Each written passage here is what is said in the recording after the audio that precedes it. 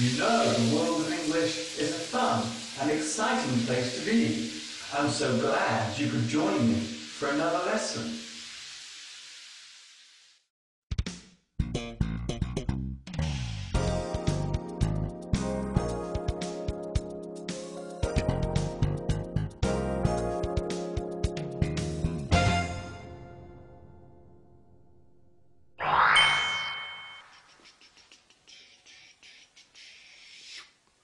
Hi everybody, this is Mr. Duncan in England. How are you today? Are you okay? I hope so. Are you happy? I hope so. In today's lesson, we will talk about the awkward and some would say embarrassing subject of our faults and bad habits.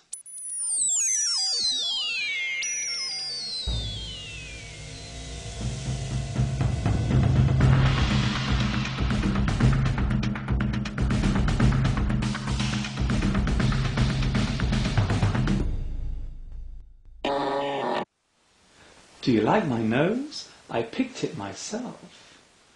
The word fault means something that is not perfect or isn't completely correct.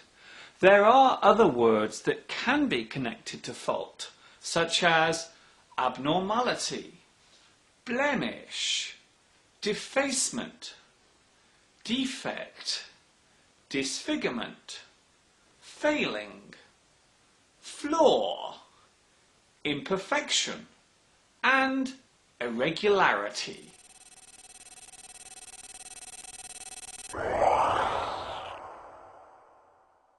All of those words you just heard relate to the appearance of something or how it looks. However, the word fault can also be used to show a wrong action. We can say, it is your fault. That is your mistake. You did that wrong. That happened because of you. You must take the blame for this. You really screwed up. When we use these sentences, we are telling the other person that they are responsible for the mistake. We are blaming them for it. Of course, a fault can also be related to another part of our behaviour. Bad habits. Bad habits are things we do that annoy other people, or may appear unpleasant, rude, or even dangerous. There are many bad habits around. For example,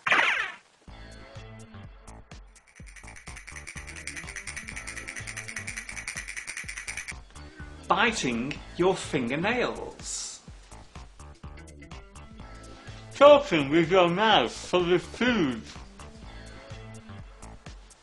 Picking your nose.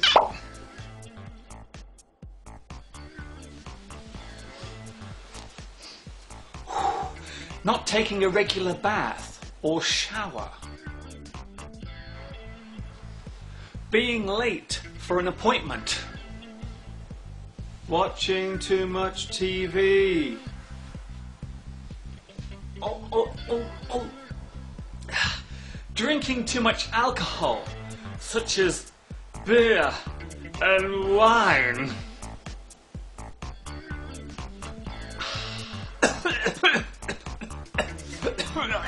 Smoking cigarettes.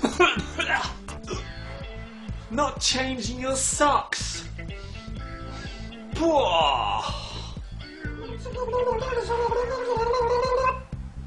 Talking for ages on the phone.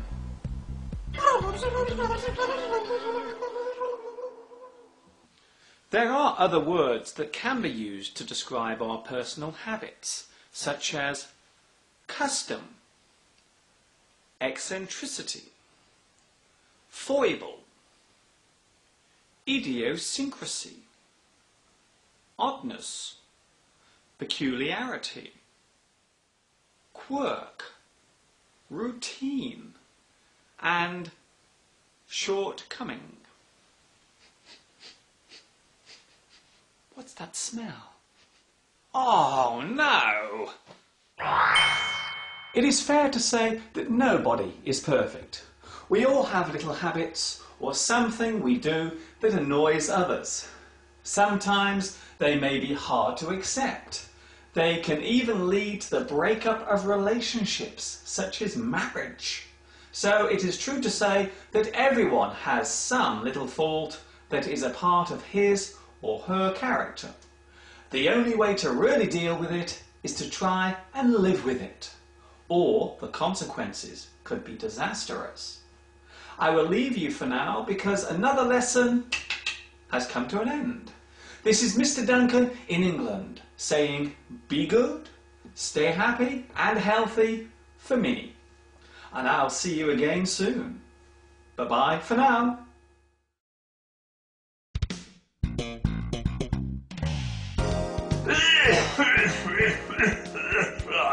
Mm, that's better.